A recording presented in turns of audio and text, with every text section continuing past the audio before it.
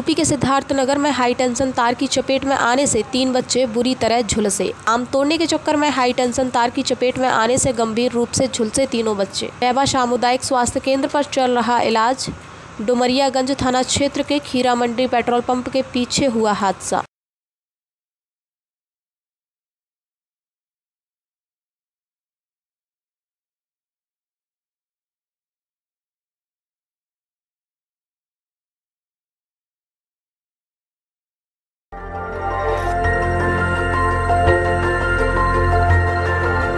देखते रहिए डीबी भारती समाचार नज़र हर खबर पर।